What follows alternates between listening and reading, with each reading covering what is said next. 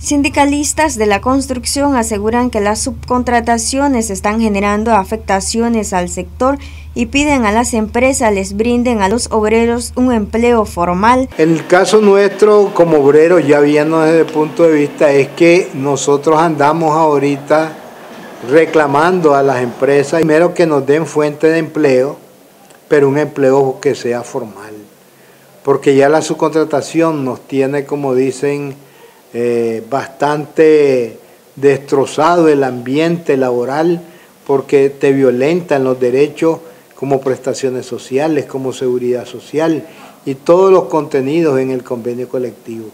Y nosotros vemos que estas empresas, para todo es su contrato y su contrato y su contrato. ¿Qué quiere decir eso?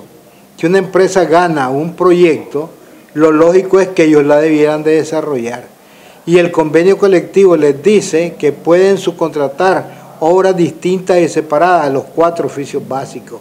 En ningún momento el convenio colectivo les permite subcontratar lo que son carpintería, albañilería, armaduría y similares.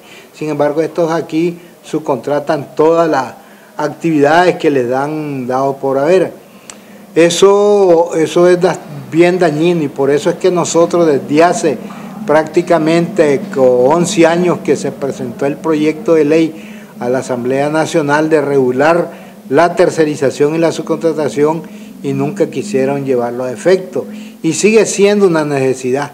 Salazar agrega que se hace notar la afectación que hay por falta de la inversión privada. Tenemos rato de no conocer un proyecto de inversión privada. La mayoría de los proyectos han sido con carácter estatal, o sea, carácter de gobierno. Se habla, lo único que vimos un poco ahí fue la, planta de gas, que fue un proyecto rápido, que le han hecho bastante bulla en este país, pero es un proyecto que lo más que dilató fue del mes de mayo al mes de septiembre de, este 2021. Un proyecto que se hizo en tiempo récord, entonces, pero no es un proyecto de larga inversión que va a tener tantos trabajadores, que va nada de eso. Entonces, en la industria de la construcción, nosotros necesitamos la inversión privada. Ojalá que aquí llegara a ver, porque el desempleo es grande.